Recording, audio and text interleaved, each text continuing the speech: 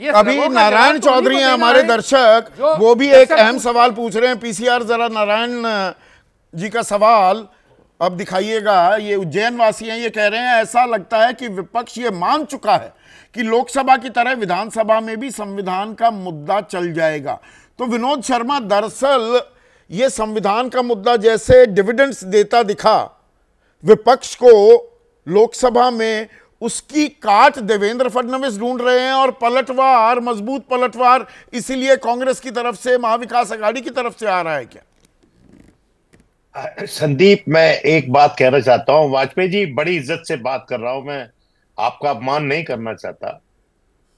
कि और संदर्भ बता रहा हूँ आपको कि आपके जो, जिस पार्टी में आज के दिन वाजपेयी जी हैं, लोक जनती, लोक जनशक्ति पार्टी उनके नेता और हमारे मित्र रामविलास पासवान। उन्होंने एक इलेक्शन में ओसामा बिन लादेन का लुकलाइक इस्तेमाल किया था, वोट बटोरने के लिए।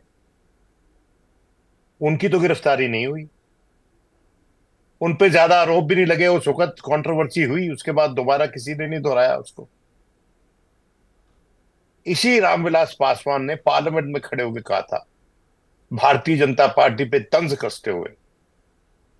कि आप गाय को अपनी माता बोलते हो, लेकिन जब मर जाती है तो हमारी कम्युनिटी के लोगों को उठो, उसका शव उठाने के लिए बुलाते हो। राजनीति में तलखी होती है, और सरकार का काम है कि तलखी को तूल ना दे।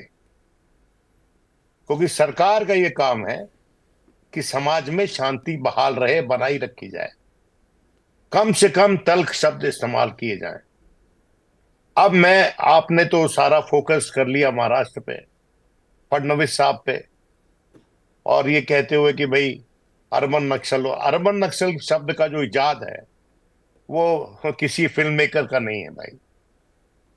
वो एक फॉर्मर एडिटर जहाँ तक मेरी नॉलेज है ऑर्गेनाइजर के उनके हाथों से लिखा हुआ ये शब्द है। मैं उनका नाम ले सकता हूँ लेकिन मेरे पास उनका परमिशन नहीं है इसलिए नाम नहीं लूँगा। हमारे मित्र है वो। जर्नलिस्ट हैं। और ऑर्गेनाइज तो आप जानते हैं ऑर्गेनाइजर आरएसएस मैं मैं समझ गया आप इनका ज़िक्र कर रहे हैं। हाँ।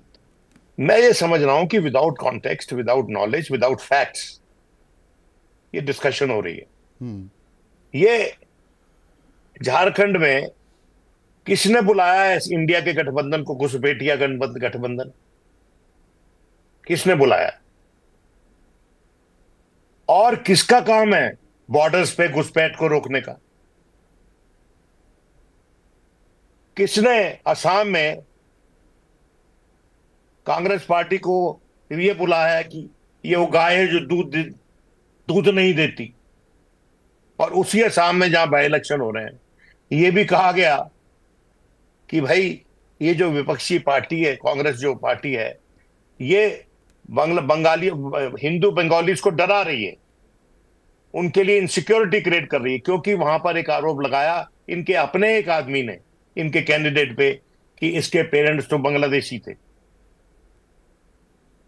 देखिए बात यह है नहीं सीधी अगर हम राजनीतिक बात करें विनोद दरअसल ये दलित आदिवासी वोट बैंक ये आरक्षण का मुद्दा उसकी काट के तौर पर ये राजनीतिक आरोप लगाए जा रहे हैं या कुछ और राजनीतिक रणनीति भी आप देखते हैं? देखो मैं जेनेसिस डिस्कस कर रहा हूँ। तुम ऑब्जेक्टिव डिस्कस कर रहे हो। जब तक जेनेसिस एड्रेस नहीं होगा ये मसला हल नहीं होगा। आप चाहते हैं कि लगातार इस देश में इलेक्शन के दौरान ये जातिवाद का मवाद ये हिंदू मुसलमान का मवाद ये फैलता रहे। ये तो अच्छी बात नहीं है ना। और मैं ये समझता हूँ कि इलेक्शन के टाइम में ज़रूरी होता है कि जनता का विवेक डिस्टर्ब ना किया जाए।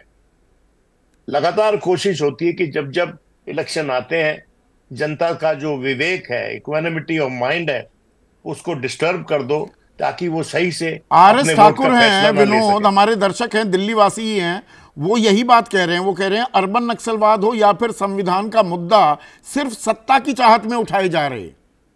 आप वो ठीक कह रहे हैं। जेनेसिस में नहीं जा रहे। वो बस अपना शॉर्ट टर्म गेम गेम्स के लिए ये किया जा रहा है क्या? देखिए वही तो होता है। एडॉकिज्म देखिए ऐसा है कि कई बार बहुत सी पॉलिटिकल पार्टीज़ होती हैं। वो जो रेलवे रेलवे का जो प्रॉब्लम है सेफ़ सेफ्टी वगैरह की उसको एड्रेस नहीं करती क्योंकि लॉन्ग टर्म प्रॉब्लम है। वो लॉन्ग टर्म लॉन्ग टर्म में ठीक होगी। तो उसकी जगह रुभाने के लिए हमें कहते हैं कि इतनी रफ्तार वाली गाड़ी चला देंगे बुलेट ट्रेन चला देंगे सब सरकारों ने किया है। मेरा यह मानना है कि ये सब बातें कर कर जनता को मूर्ख बनाया जा रहा है उनको एम्पावर नहीं किया जा रहा कि उनको कहाँ वोट डालना है। वोट डालने के लिए एम्पावरमेंट का काम आपका और मेरा है। हम्म। और इसलिए आपको मुबारक है कि ये प्रोग्राम आपने शुरू किया है। जहाँ पर इमीडिएटली आप जनता से फीडबैक ले रहे हैं और जेनेसिस में जा रहे हैं। आप सवाल पूछ रहे हैं कि किस बेसिस पे आपने ये आरोप लगाया? एक्चुअल बेसिस क्या है? देखिए ये कहीं भी सवाल अभी हाल ही में जो आज जो डोनाल्ड ट्रंप जहाँ जीते हैं हम्म। उन्होंने जिस तरह के आरोप लगाए उसी वक्त वहाँ पर मीडिया फैक्ट चेक करता है कहता है गलत है। हाँ। पर यहाँ तो पर वो नहीं हो रहा है बस यहाँ पर जो कह दिया उसी पर चर्चा हो जाती है और ना तो वो चर्चा शुरू क्यों हुई वजह क्या है ये बातें सामने नहीं आती।